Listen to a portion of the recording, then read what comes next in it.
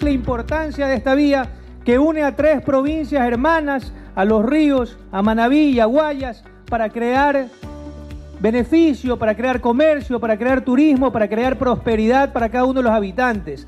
Desde esa época esta vía que fue la primera con capa de rodadura de hormigón y ahora nosotros haciendo un trabajo para mantenerla, para conservarla, para que la usen los más de 15 mil vehículos diarios que cruzan por aquí y más de 300 mil personas que se ven beneficiadas. Creo que eso es algo importante destacarlo porque este tipo de obras son las que permiten el progreso de las comunidades.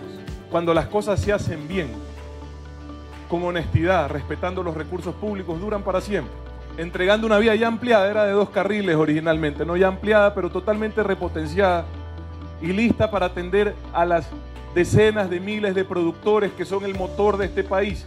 Yo les agradezco el recibimiento, quería agradecerles a los trabajadores del MTOP que están atrás por todo su esfuerzo, allá atrás los veo.